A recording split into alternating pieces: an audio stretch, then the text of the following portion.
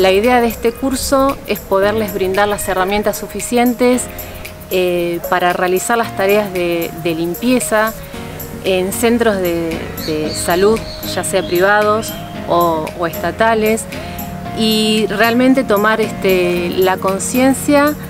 de lo importante que es la tarea que, que van a desarrollar